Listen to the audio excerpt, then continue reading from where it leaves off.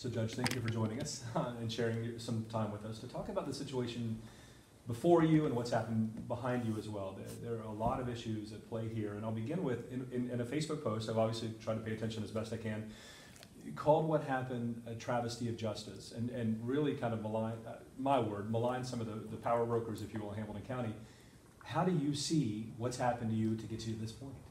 Okay, well, thank you, and, and call it maligned. Um, I would say that I was um, being very forthright and honest with how I have been treated, um, not just in the past five years, but Todd, it's really important that people understand that what has happened to me has taken place almost over 10 years now. Um, in a few months, it'll be 10 years, uh, January 2010, since this saga began for me. And it really started um, because I ran for judge of the Hamilton County Juvenile Court. And as you know, that is a position that has never in the history of Hamilton County been held by an African American or a Democrat. And so I literally, um, when I was elected, I broke through the glass ceiling. But as you know, um, the election wasn't normal, it was very abnormal. And so also for the first time in history, I had to sue as an individual to even prove that I won the election. And there was so much animosity and hostility that was directed at me by certain individuals, like the prosecutor of Hamilton County, who was representing the um, Hamilton County Board of Elections against me, and then later um, accused me of charges after I was sworn in, that um, you have to look at the entire picture. You have to view the, um, the history of the case, you know, starting with the um, Hunter v. Hamilton County Board of Elections, and then finally culminating in these false criminal charges that were filed against me in 2014. And here we are in 2019, and it's still going on. And it's, that's a really important point to make, because I think even in my reporting, it's been just what's been happening in the last X number of months, or what's been happening over the course of the couple of years where you've been wondering, we've been wondering, when's it gonna come out of Judge Black's courtroom or whatnot. So to your mind, it all goes back, the, the challenges that you pose to the system and the difficulty just in certifying that election. So that's interesting. Um, what were you, once you got into the, I was, I was made a note, once you got into your judgeship, you, you know, you have said you were sort of exposing things that, that correcting wrongs that you perceived.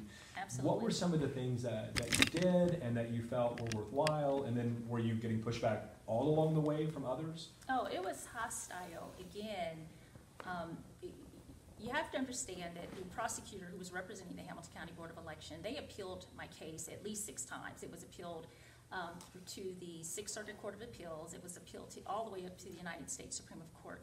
Um, and so there was pushback all the way. And so when they were forced to count those votes, those provisional ballots that they had refused to count, even defying a federal court order repeatedly before they counted those votes, they were they were mad about it.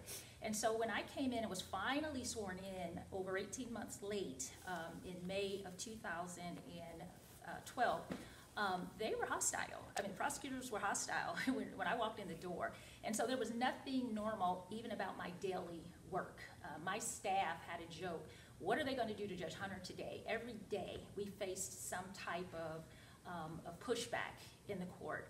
And eventually I started being charged uh, or, or, or lawsuits were filed against me. And then the prosecutor, the same prosecutor who was representing me or representing the county in the Board of Election lawsuit, which by the way was still ongoing at the time, he then began representing me in those same cases and, and civil suits that were filed against me. And that's an, that's an ethical violation. That's literally prohibited by the Code of Professional Conduct to have a person that is involved in a lawsuit against you then to represent you. And so these are the type of challenges that I was facing every single day as a judge on the bench for the first time, uh, literally working very hard. I worked until 11, 12, midnight almost every night because I had the highest caseload in the state of Ohio. I had over 14,000 cases that were under my jurisdiction. Um, I was giving great attention to them. And then in the middle of that, I started discovering that there were problems at the juvenile court. Um, and I, if you do a public records request on Judge Hunter's emails, you will find that the things that I'm alleging were not, they're not just my perception, they were my reality. Uh, for instance, within three months, I discovered that the statistical uh, reporting system of the juvenile court um, was the information that they were submitting to the Ohio Supreme Court was, it was wrong. And as a judge, I had to sign off on these documents every single month. And as I began to look at the reports and see that they were not lining up, the, the numbers weren't matching, I began to ask questions. And so I sent uh, emails to Connie Murdoch, who was the um, super, the director of case management. I sent uh, emails to the uh, clerk's office, and I requested uh, to know why the documentation that they were giving to me to sign off on as a judge was inaccurate. Initially, they denied it, but several emails later, Connie admitted that, you're right, Judge, these are wrong. The Ohio Supreme Court was forced to come into the juvenile court and started, they put a team, a team of people in place to go through the case management uh, system, JCMS, of the juvenile court, and they had to change the reporting system because, in fact, they determined that all of the statistical data that was being submitted from the juvenile court to the Ohio Supreme Court was, in fact, wrong. In that matter, because cases weren't being Ooh. tracked properly, and the state might have thought, well, they don't have as many situations as the reality would, would show. Is that fair to think? It- It's, Help me understand, that's a problem, obviously. It's a, it's a great problem because those statistics identify the type of case um, by, for instance, we have child support cases, we have delinquency cases, we have abuse, dependency, and neglect cases. And the, the reporting system identifies how many of those cases are in the system or on the docket at any given time. And so collectively, um, the, there's a reason that the Ohio Supreme Court requires all of the courts across the state of Ohio to report accurate data so that they, in fact, know how many cases are, are, are before a court, how many are being disposed, how are those cases being disposed. And in our cases, they were reporting, uh, again, the numbers were just, they were incorrect. The cases were totally improperly identified. And it was a big enough deal that the director of the case management of the state of Ohio, uh, Ohio Supreme Court, had to come in and direct the process herself. And if you would go through my, again, my emails, uh, going back and forth, uh, my emails to the Ohio Supreme Court as well as to uh, the juvenile court, you would find that not only was it critical data that was being misrepresented, it was so critical that the Ohio Supreme Court came in and entirely uh, revamped the uh, juvenile court management system at juvenile court. And just, you know, as we talk about this, obviously some of what we talk about may not make it into the piece tonight, Sure. just because of the timing issues, but I'm, I always appreciate gaining insight, bottom line, so it can drive forward, stories going forward, and it will all be part of, it'll be in, you know, whether, you know, I'm able to use it tonight, or however it gets processed, it doesn't go out of my head, so that's important. The idea then, you know, I think it's in the, let's, uh, I'll use my word, the bluster of, whether it's talk radio or external voices and everything, a lot of what the public has heard is that, you know, Judge Hunter dragged her feet, uh, delayed cases in some instances, and the public doesn't know any different until they hear from you in this in this way as best we can. Um, did, were you aware of this? Uh, those critics just kind of taking the public platform and kind of saying, trying to, you know, step on you a little bit and say, well, she's just not being a good judge, and she wants to paint the walls, and she's not worried about the kids, or wh- whatever the critics might have said. How did you process all that?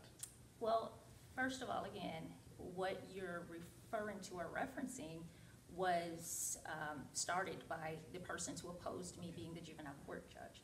And so you had a lot of these accusations that were being falsely made by the prosecutor's office, to be quite honestly, and some of the persons that were working uh, with them.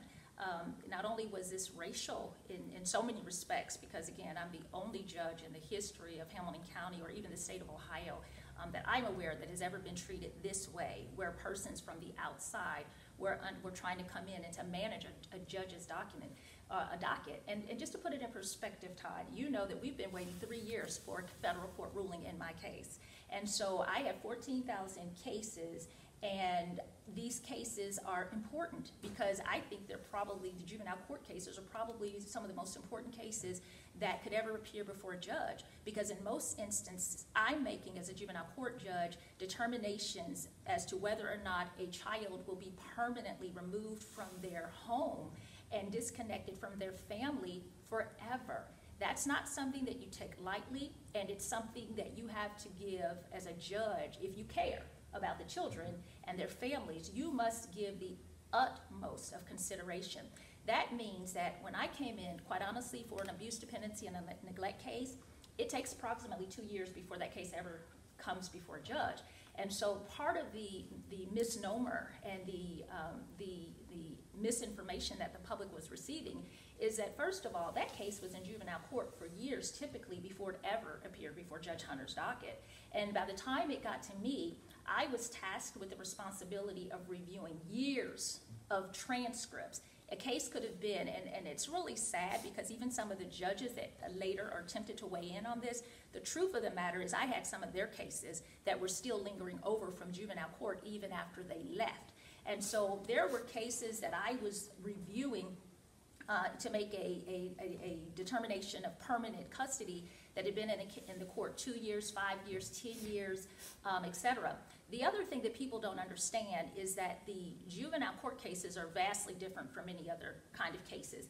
And according to the Ohio Supreme Court, they had specified um, recommended guidelines, not anything set in stone, but they were recommended guidelines that depended on the type of case. So you might have a case like a delinquency or something, and depending on what type of case it was, there might be um, 120 days, there might be six months. In some instances, it was over a year. It depended on the type of case that it was. But when I was tasked with the responsibility of reviewing a case, and, and I'm not a rubber stamp kind of judge, and most of the cases were initially heard by magistrates uh, before they ever arrived on my desk. So by the time they arrived on my desk, I had to review that case thoroughly to determine whether or not that magistrate had made the right decision because that child's life depended upon it, that family's future depended upon it. And I believe that I gave the type of judicious um, review of cases that was required. And I hate to say, but there were a number of times, or I needed to, I had to overturn those magistrates. And so I couldn't do that lightly. You know, I, I slept on my cases. I, I took transcripts to bed with me. It was so important to me that I ruled rightly in a case. And because their, their future was ultimately going to depend on whatever determination that I made. And then, to be honest, in terms of the other accusation, John Williams eventually, I think at the request of the prosecutor, um, and whomever he was working with began to make those type of accusations. But when my lawyer, Jennifer Branch, actually did a public records request to the Ohio Supreme Court on um, our the, the disposition time, actually John Williams, uh, who actually reported it, the Supreme Court documents show he actually had more cases that were out of time, if you will, or that, uh, that, that were tardy. Uh, it was not me. And this came out even in the uh, trial later that we had documents from the Ohio Supreme Court that stated just the opposite of what your critics that you're referring to uh, were stating. A lot to unpack in all that. Um, I'm struck, Judge Hunter, we're, we're in this church, and, and as I had some questions, I'll, I'll just ask you this one, I'll take it slightly to her. Your faith clearly drives you, and I would imagine everything you do.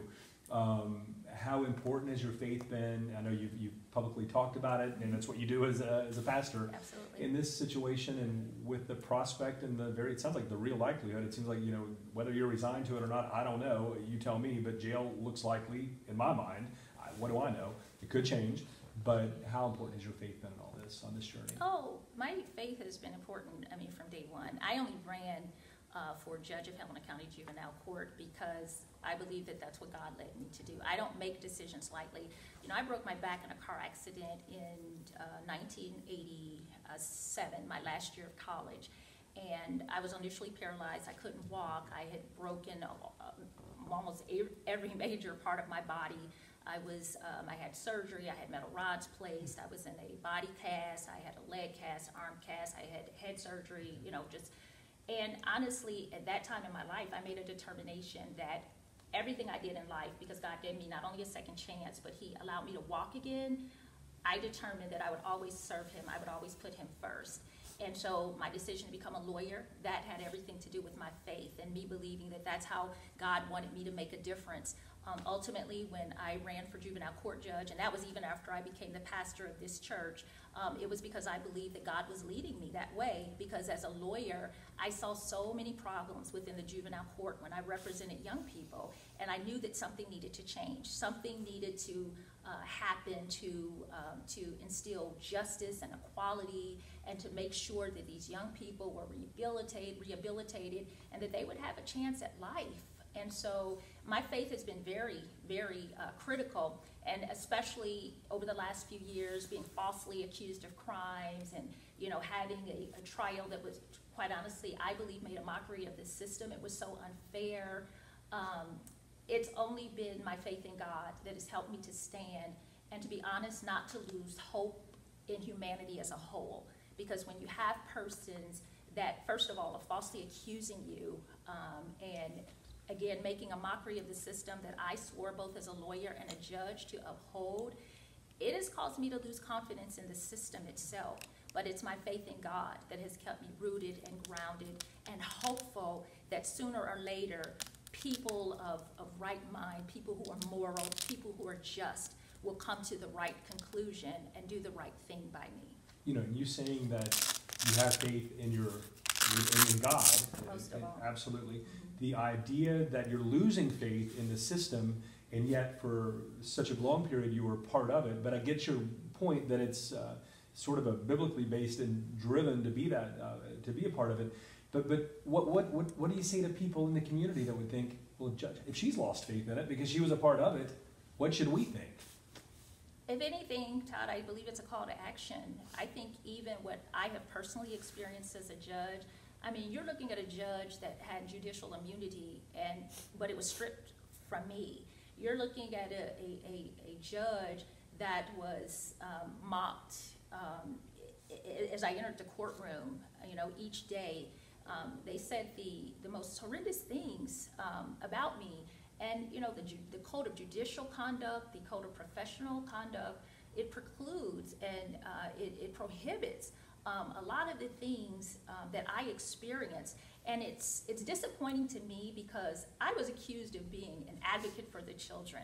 I mean, think about it. I'm a judge charged with rehabilitating children, yet I'm literally accused in documents of being an advocate for the children. In other words, by my um, treating the children fairly, by my making sure that the constitutional rights of the children are upheld every day, by my ensuring that children are not filmed in the media because they're children and that could destroy their future um, if they are, you know, if we successfully rehabilitate them and then their names are plastered all over the media, that follows those young people forever. So all of the things that I was doing right as a juvenile court judge, I was criticized and attacked for. And so I hope that people will examine their consciousness. And if you have children, imagine if your children, Todd, came into contact with the juvenile court. How would you want your children tr- treated? Would you want their constitutional rights to be upheld?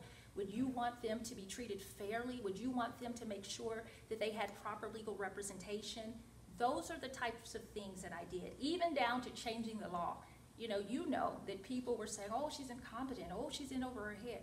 How could I be in over my head if I changed law? In just the time that I was on the bench before the charges were brought against me, I changed Ohio law so that now exculpatory evidence, Brady material, police reports are now required to be turned over by the prosecutor's office to the defense lawyers or the children so that they can be properly represented at court. Why would we withhold critical information from children that could prove their, their innocence when we're trying to rehabilitate them and not incarcerate them?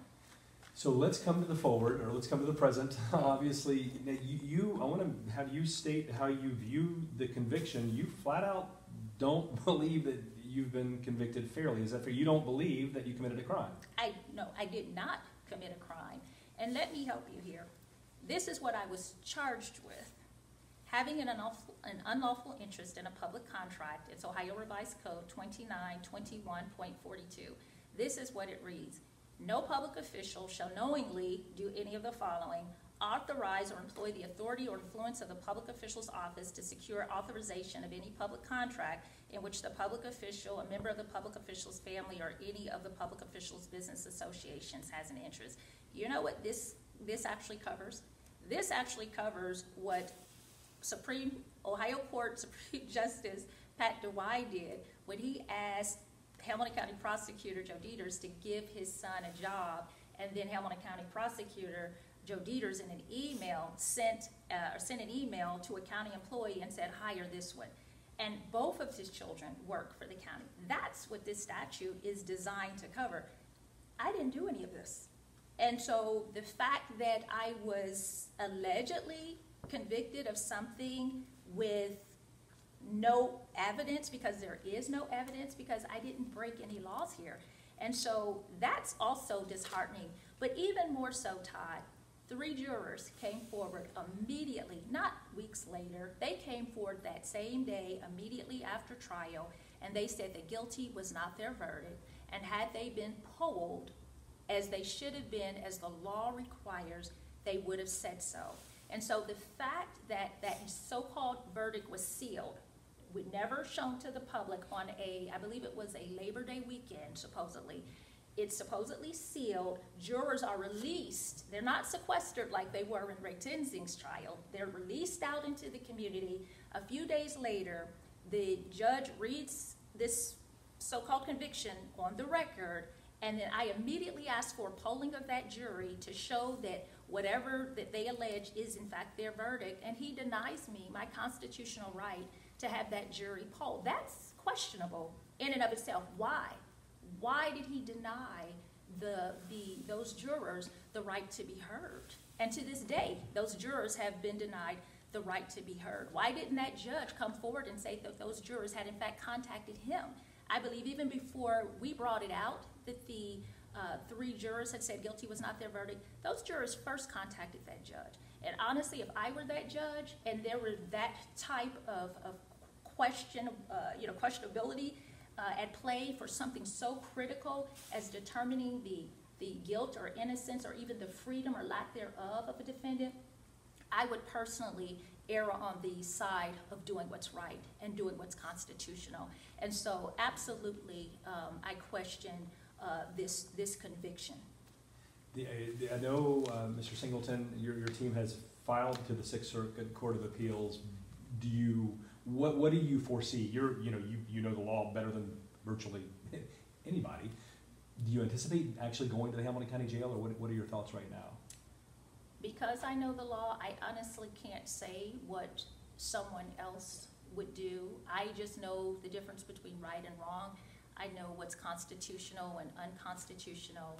And because it's pretty clear, if you would review even the transcripts of what happened in my case, there were so many jurors that were literally connected to the prosecutor's office. They were friends of the, of the, of the prosecutors. They identified themselves as such.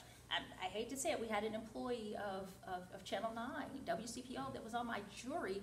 And, and at the time that I was indicted and charged, Channel 9, we were in an active lawsuit. They were literally suing me civilly um, for um, uh, prohibiting them from publishing the names and the faces of the children.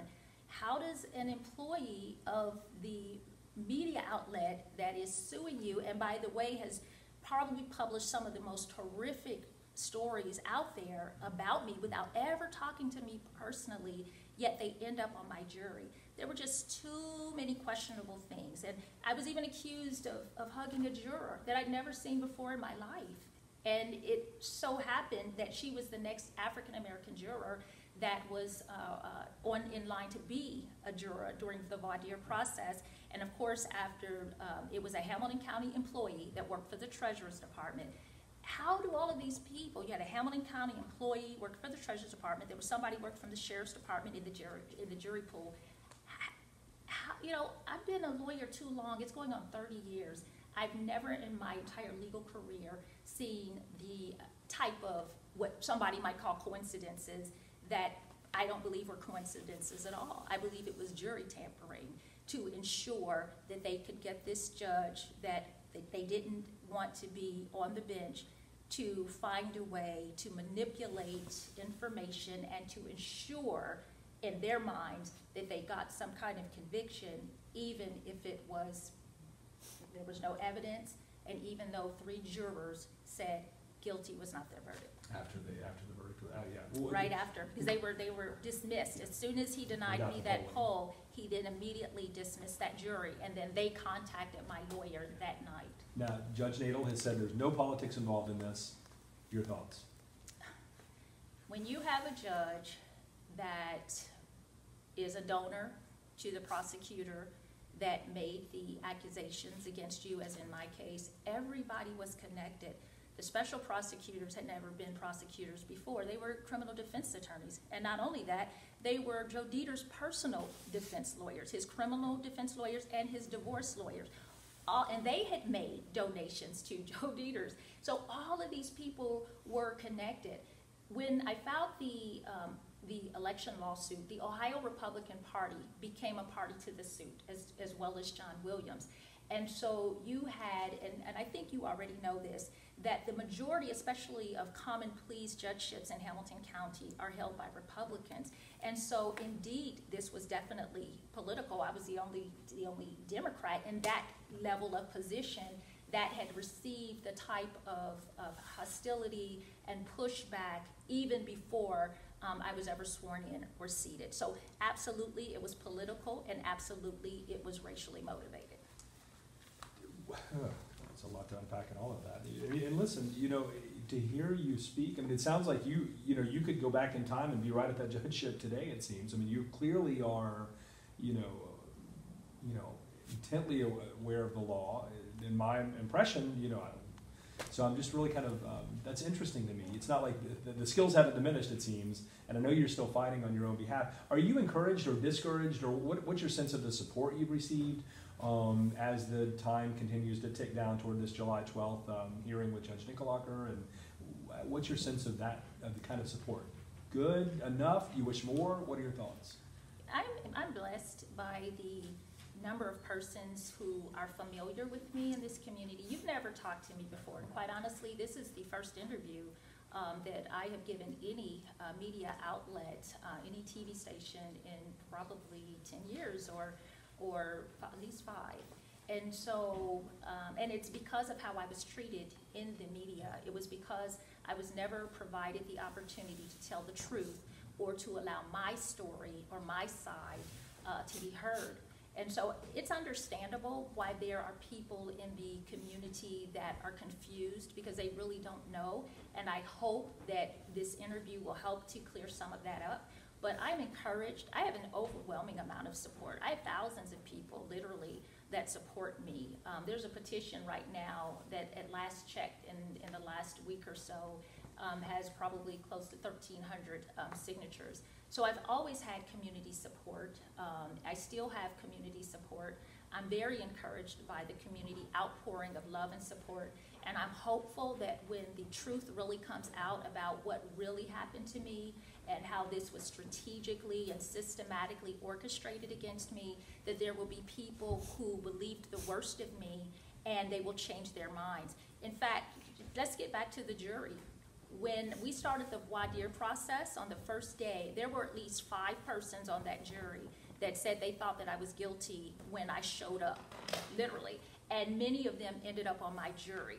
And so, just because of the exposure of, of, of the bad press that I was getting, even though I never had an opportunity to respond to anything, number one, the Code of Judicial Ethics prohibited me from um, speaking out. And then, quite honestly, I was never really approached uh, with the truth um, um, from from the media. People just wrote stories about me and fanned the flames of hostility, you know, against me, like the hate mail that I received at the juvenile court. I mean, I received racist hate mail um, while I was serving the public.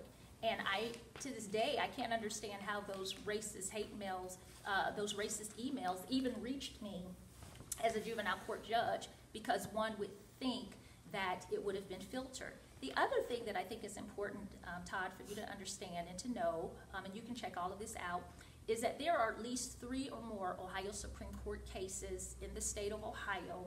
They're precedent cases because it, they were, um, the Ohio Supreme Court made the rulings that peer judges in one jurisdiction are prohibited, are prohibited from ruling over cases involving other peer judges. So I'm a common pleas judge in Hamilton County. Um, Judge Norbert Nadel is a common pleas judge, and now Patrick uh, Dinkelacker is a common pleas judge. We were all on the same level. We're peer judges in Hamilton County. According to the precedent set by the Ohio Supreme Court, they should never have been um, presiding over a case uh, of a peer judge. Give you an example. Um, I hate to use this as an example, but uh, even during this case, since uh, Patrick Dinkelacker took over, he was sued in a wrongful death lawsuit. He received a visiting judge. Um, Prosecutor Joe Deters, he's not even a judge, but in his divorce matter, he was giving a visiting judge. So why is Judge Tracie Hunter the only judge in Hamilton County that has a case that's being presided over by peer judges, and not only peer judges, peer judges that are connected to the prosecutor's office, peer judges that are connected to the Republican Party, and peer judges that had an interest in me not being on the bench. I mean, arguably, you would think that Judge Dinkelacker should not be the one at this hearing on July twelfth. I mean, it should be a, a visiting judge, someone else that would review the case and make a determination. If they were to follow the law that was already established by the Ohio Supreme Court, give you another example, um, even if you wanted to, to, to go a different route, there's also ethics, uh, ethical, uh, rules and canons that state that if a judge is in any ways involved with a, a, a ruling or a case in a lower matter, he is not to then, uh, be involved in that case on any level. While serving as a juvenile court judge, when my cases were appealed uh, by whether it was the defense lawyers or prosecutors to the First District Court of Appeals, when they were appealed to that court, Patrick Dinkelacker was a First District Court of Appeals judge at the time. Many of the rulings that I made as a juvenile court judge were appealed to the First District Court of Appeals while he was on that court. He ruled against me in some of those cases, and then those cases were then used against me at the first trial that Norbert Nadel presided over. And then when we went forward and they were going to try me a second time, these same cases were being used as evidence. And so that was clearly prohibited by the Code of Ethics. That cases that he actually ruled on against me were then getting ready to be used at a criminal trial. There's a- Conflict of interest. It's a conflict of interest and it's a clear bias coming in the, in the door. So what about the conversation you hear externally? Judge Hunter was convicted by a multi, let's go back to the jury for a minute. Multiracial jury, you hear that a lot. And so the layperson hears, oh, well, obviously, she's African American. Thank goodness it was a multiracial jur- jury, so had to be fair. The You don't buy that at all. Oh, well, no, the problem is that it was all the African-American jurors that came forward and said that guilty was not their verdict, and in fact, went further to say that they were being, um, pressured by the jury forewoman, who, by the way, is the wife of a lawyer that worked for the law firm that represented WCPO. And so not only then did you have a juror that was an employee of WCPO, you had a jury forewoman who was connected, who's, a, who's married to a lawyer. And then not only that, Todd, I'm not sure if you're aware, as soon as the trial ended, we received information that the jury forewoman did not like pastors because she had been molested by a pastor, her youth pastor. And when the question was asked during the dire process, does anyone here have a problem with pastors? She, she, she wasn't truthful. And then in fact, she lied on her jury questionnaire because the jury questionnaire specifically asked, um, has, have you as a, as a potential juror, um, ever, um, been involved in any, or been a victim of a crime? And she said no. And so all of these things, um, this information was, was literally hidden from me, and I did not have the, the um, opportunity to even review, because the other thing that happened is I was denied a jury questionnaire. If you go back and look at Ray Tensing's trial, he had over a hundred question jury questionnaire. Mine was a standard, I had the most high-profile case up until that point in the state, in, in Hamilton County and in Ohio. I didn't even have the advantage of seeing a jury questionnaire. He got his, I believe, two weeks before the, the jury trial commenced. I saw my eight-question jury questionnaire the day voir dire process commenced at trial. That was the first time that I saw it. So I didn't have time or opportunity, as most persons, or as Ray Tensing did, to review the questionnaire, to see who these jurors were, to see who they were connected to, to see all of the political affiliations. Some of them were neighbors of judges. It was a mockery, again, of the entire system. And it's interesting you bring that up because I don't think that I had connected those dots uh, in my mind about Ray Tensing and covering both of those trials and knee deep and all that. And here you were a judge being tried, you And know, and with you would argue, why, I would like to think most logical thinking people would say, a police officer, clearly very important, a judge, clearly very important, why would you not treat the two the same? That's pretty interesting. Absolutely, and, and this has also been overlooked, and I'm not sure why. At the commencement of, uh, just before the second trial was scheduled to commence, we hired a forensic computer expert to go into the juvenile court and to look at computers. And that's when it was discovered that the other side had tampered with those computers. They had actually soiled the hard drives and prevented the evidence um, that I believe and know for a fact would have acquitted me. Charges should have never even been filed against me. Number one, not only because I had judicial immunity, but a lot of the thing, everything that pretty much that they had accused me of, there were documents and records in black and white that would have proven that I did none of that. And those computers, we found out two years later at the commencement of the second trial, were destroyed by the juvenile court or the prosecutors. And those hard drives, not only were they soiled, um, they were also um, eliminated. I believe they said that the computers were sold and the hard drives were cleansed even before I was indicted in January of 2014. And in any criminal case involving computers, the first thing that should happen is that you preserve the evidence. And I assure you that we immediately requested that Norbert Nadel that he would preserve the evidence in my case, and he refused to do it. And the only way, to me, that you would refuse to preserve evidence in a critical case where you are literally accusing a sitting judge of a crime is that you know that that sitting judge is innocent, but you make the evidence that would exonerate me even before I'm charged, you make it disappear. And I'm just curious as to why, again, as a sitting judge, why not only am I scheduled to go to jail, but the persons who really tampered with evidence and really destroyed those computers to, I believe, frame me, have not even been charged with crime. Is there a possibility, in your mind, you tell me, you're a legal scholar, do you, it's almost like I would be asking you a question if you weren't in this situation. Tell me about Judge Hunter's case, uh, and comment on it that way, on the, on the outside looking in. Even if you, you know, say you go to jail, spend X amount of months or maybe six months, I don't know, and, and uh, we'll see what the future holds. Is there a possibility on the backside that you would then there's an effort to either have all this overturned again, or are you going to keep pressing on it? Because you make many salient points that obviously I would need to, you know, explore further. But I'm sure you've been screaming this from the mountaintop um, many, many times, and, and whether it's falling on deaf ears or you just are trying to get that across. Could that happen? I mean, are you going to stop fighting this? Oh, absolutely not. First of all, as a pastor, my integrity and my character means everything to me. And prior to running for the judge of the Hamilton County Juvenile Court, um, prior to, um, I guess, uh, making upset the people who were accustomed to running the court, like the prosecutor's office and the Republican Party. Prior to that, I had a, a, a stellar reputation in this um, community. And it's important to me that the truth comes out. And I'll be honest, I don't care how long it takes. I mean, I do, but I'm going to push until all of this information that quite honestly is in, it's out there for whatever reason, it just continues to be ignored by persons who should pick it up.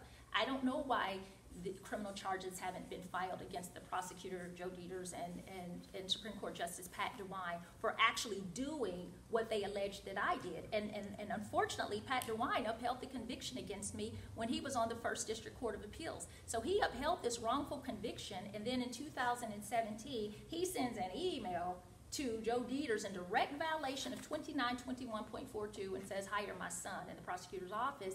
I mean, the hypocrisy, you know, Todd, I just want what's right. I just want what's fair.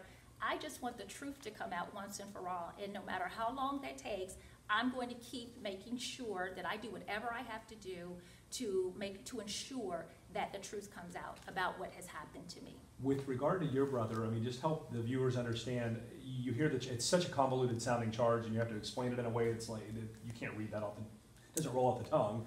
Is your brother?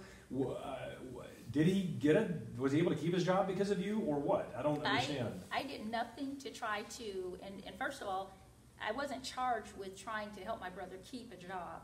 I was charged with having an unlawful interest in a public contract and securing a public contract, which means I had to have done something to get my brother a job. My brother worked for the juvenile court. I'm not sure what year. I believe it was around maybe 2007.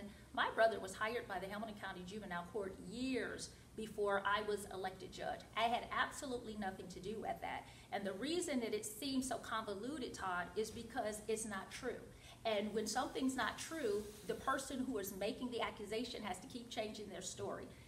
I can't tell you how many different versions that I've heard of what I supposedly did that I've never done, And clearly, the fact that no one could present not anything, not one shred of evidence in court to show that I had did and what they accused me of, I think is pretty clear. That's why it's convoluted, because it absolutely makes no sense. And it doesn't line up with this statute um, right here. Goodness. Um, and then, you know, the reality also is, which I think is pretty per- powerful and persuasive on your side, there were, there were, what, 10 felony charges against you? 10. And it was the one that got through somehow, or the jury said, okay, we'll agree with that. But I mean, nine, not, nine no and one yes. You, does that, uh, what do you say to that? How do you make, how do you make sense of that, if you will? You can't make sense of it. Uh, first of all, every single thing that I was supposedly accused of doing um, was in the direct um, line of my responsibility as a judge. Let's talk about, for instance, the theft charges. I mean, there are people literally in this county because of these horrific media reports that were, were corroborated, I guess, by the prosecutors that are thinking that Judge Hunter took something. I never stole anything a day in my life, and certainly not from the juvenile court. I filed notices of appeal with the Ohio Supreme Court after the prosecutor's office, who was supposed to be representing me on those, uh, those cases, those civil lawsuits that were brought against me as judge, they insisted on representing me in those cases, and then they let every single one of the cases lapse in a default judgment because they failed to answer them. So I was literally prohibited in writing by Sylvia Hendon, who was Joe Deter's mother-in-law at the time. I was prohibited in writing from having legal independent representation, which, by the way, every judge in Hamilton County has received whenever they have been accused of anything. Megan Shanahan, she was charged, or she was filed, a civil lawsuit was filed against her in the Ray Tensing trial.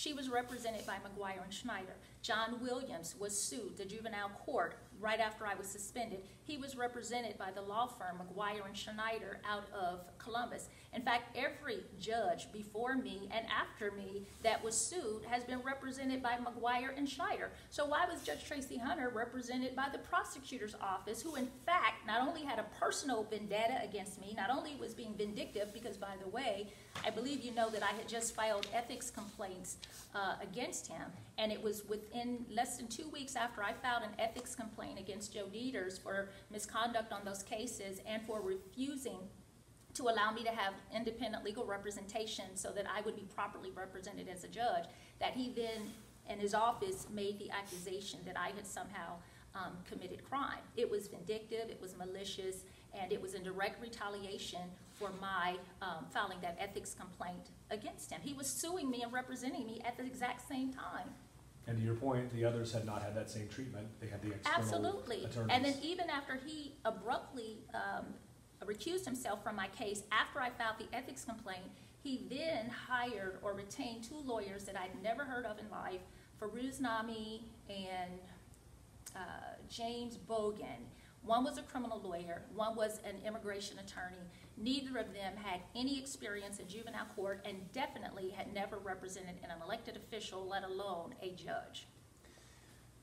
Okay, again, a lot to unpack in all this, and just, uh, the idea that, let's talk just about the Facebook post that was made on the day that Judge Black, um, Yes. you know, it was interesting because as you, as you, you know, clearly you're, you're adamant in your, in your view that, that you were wrongfully convicted and so forth. Absolutely. And then, then, then it sort of got into this territory about, you know, making sure you take drug tests going into jail and, and protecting yourself, you will not be harmed. Are you concerned for your safety if you do end up in jail? Talk about that. Todd, I've been concerned for my safety since 2010. I have literally often, because of the, um, the accusations that were made against me starting in, in 2010 and, and the intimidation tactics that were used to get me to drop my, my um, election lawsuit, I've been in fear for my life the en- entire time, literally.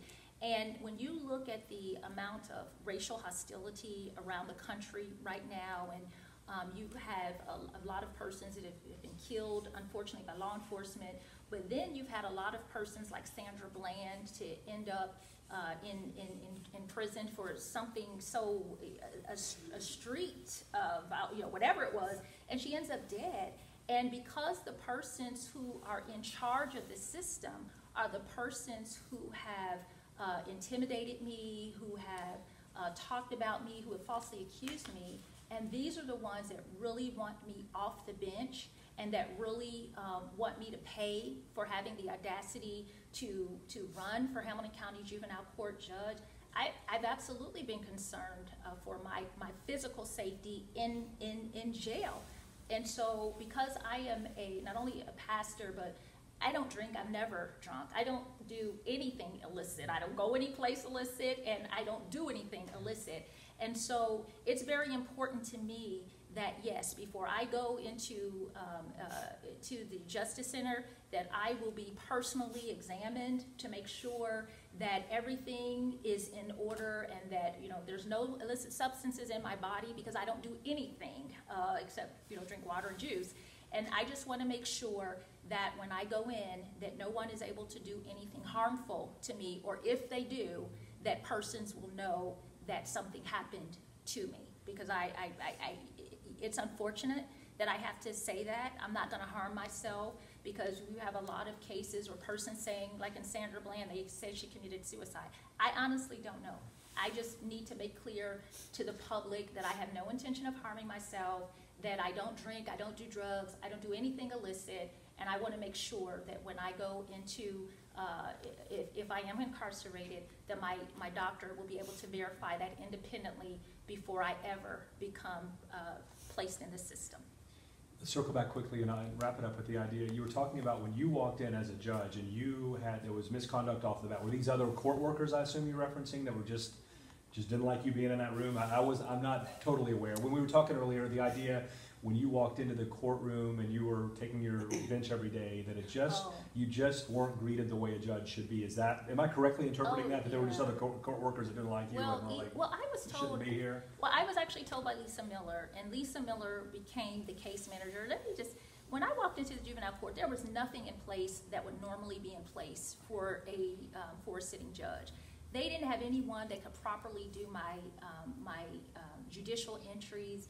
It took several months before they were able to supposedly train someone to do them. And you, are you arguing that that was not the case for previous judges? They came in, they had, I would assume, the thought being, they knew what, they, they had hit the ground running. You were not able to hit the ground running. in Because there was no staff that was properly trained to assist me.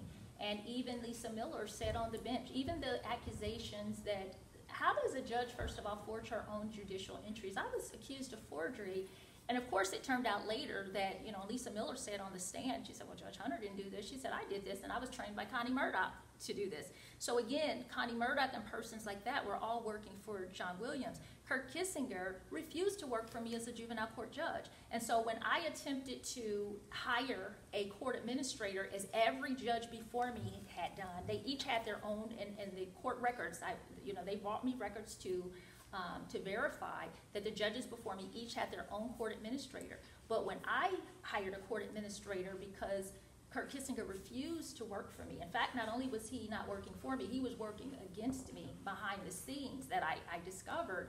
And so just to come in and to try to get my job done, I was denied help. I was denied the use of my own budget to be able to bring in the help that I needed. I was being threatened physically at the court regularly. My staff, my assistant was afraid to, um, to walk to the court by herself.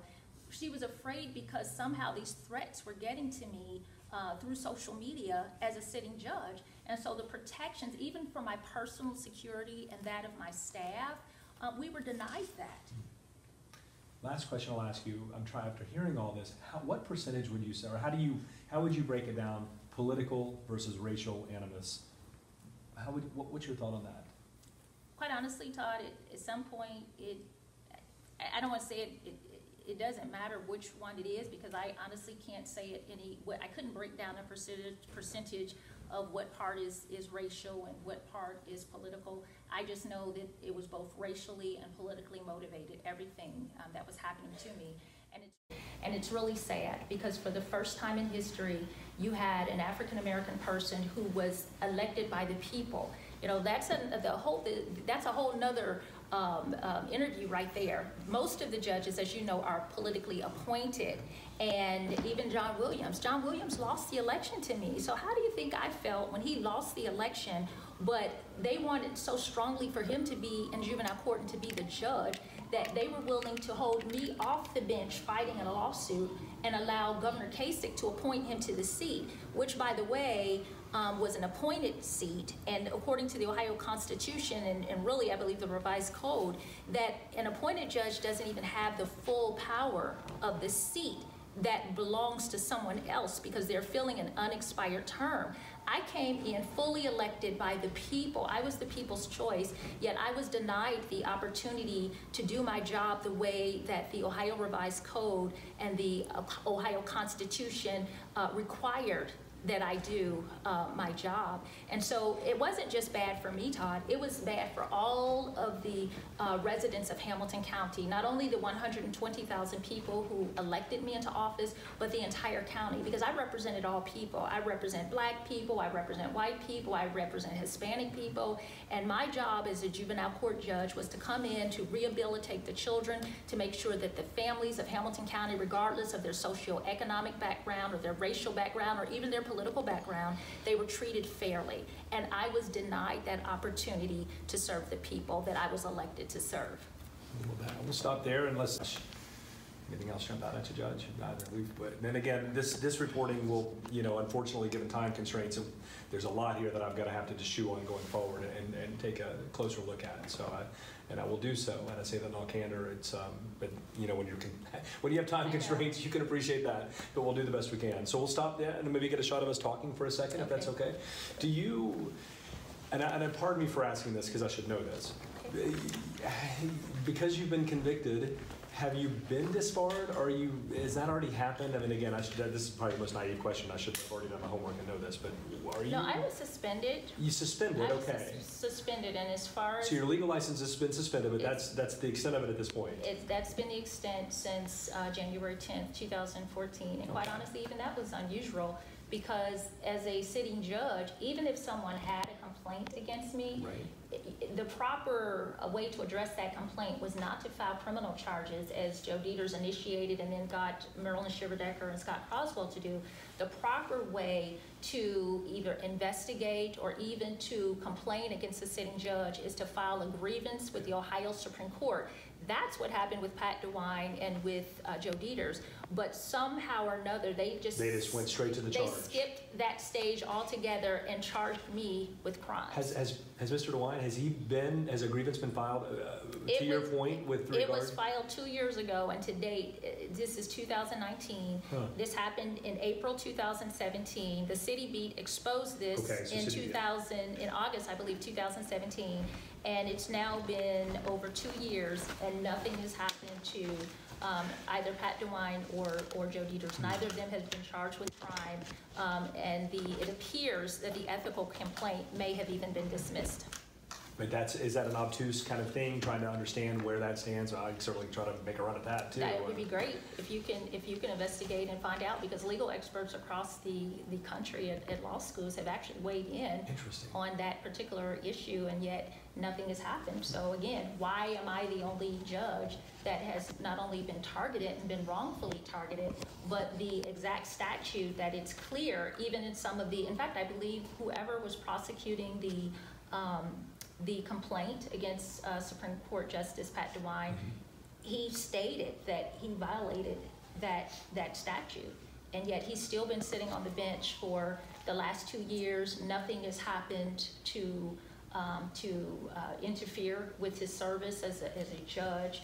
And yet I'm still not only being harassed and intimidated, I'm now facing incarceration.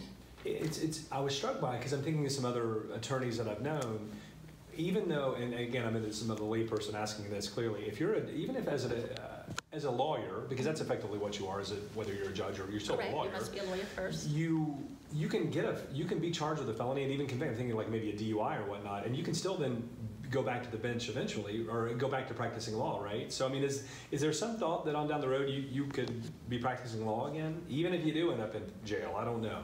Well, again, And that's me asking as a layperson, because I don't know how this stuff works. Honestly, this whole case has been unusual. What has happened to me has never happened before. I've seen them change the rules. I've seen them um, not follow the laws. In fact, I've seen them violate the laws where I am concerned. So I couldn't even begin to tell you um, what will happen. I can tell you what should happen, but everything that should have happened so far has not happened. In fact, everything um, has, uh, again, just went contrary to, to the law and to the rules of ethics. Would you want to practice law again to help kids or to help families? I will always help children and I will always help families. And I have to um, get through uh, this process and then make a determination because honestly, what I've seen and experienced here in Hamilton County, um, I'm just not sure that um, I would want to be in a county that doesn't follow laws and that targets people based on race and based on um, their political affiliation. Well, that, I was struck by in reading, in reading the Facebook post from, I think, June one, and it was a rather lengthy one where you said, you know, African Americans just sort of accept the fate of the power structure as is, or whatever, that, I, paraphrasing your words and doing it poorly, but you're saying, I don't make any apologies, I'm not gonna stand for that, never have, never will, and that I find very interesting, you know, you, in fact, you're saying, don't send messages about supporting me in jail, because that's not what I want, to make, stand up and make your voice heard.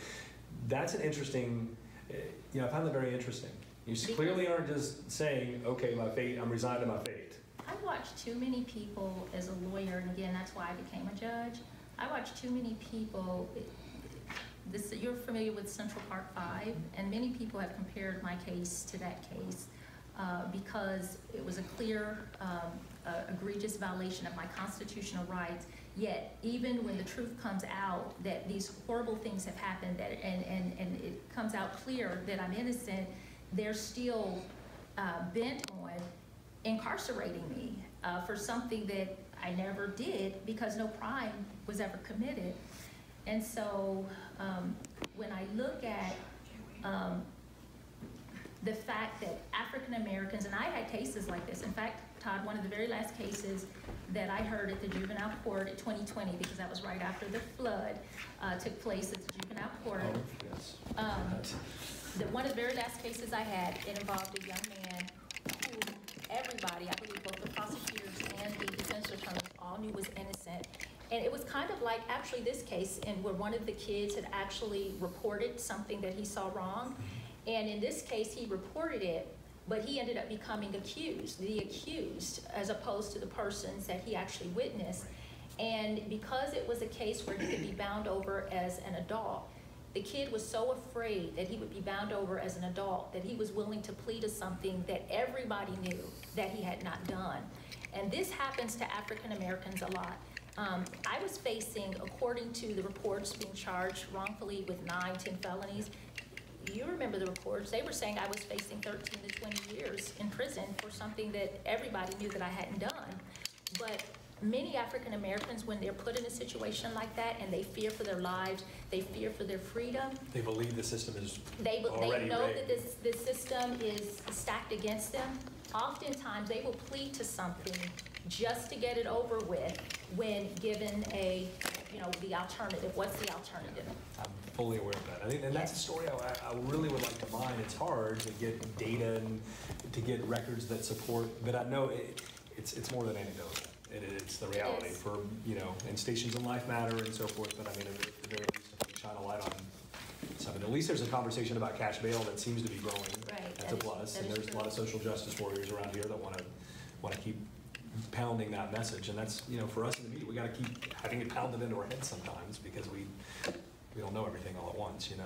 And it's hard to, and when this is law. Yeah. And I think Listen, you do an amazing job of breaking down the law. I mean, I, I you know, so. I've never, like I said, we've never met, and I am completely taken by your command of these issues and so forth. I mean, I, clearly somebody on the other side would look at this and say, you know, she doesn't know what she's talking about or whatever. And you know how that is. They're, you know, you've been listening, you've been living it for a while. But I find it fascinating because you sharp as a tack, and I'm like, it's, you know, I hear you going off to jail, it sounds like, and like that, and, and to David, Reverend Lynch's point is, that, does that make any sense? I don't, I don't, I don't make judgments, I try not to anyway, but it's lovely to meet you. And I And I, appreciate and that. I'm sorry you're, you know, I'd say to anybody, but certainly trials and tribulations you've been dealing with seem like they're pretty, pretty uh, severe, you know? So we'll, we'll try to make sense of it for the evening news tonight, and then I'm gonna sit on a lot of this stuff and have conversations with my crew and think, how, you know, is there more to do with this? I mean, how do we, how do we push forward on some of these issues? So, Okay. That would be great. Whew, It's a lot to Are we good, a lot to think about. Yeah, thank We're you. good? very. Yeah, I think we're fine. If that suits you, uh, Judge Hunter, you, yeah, appreciate it, everybody.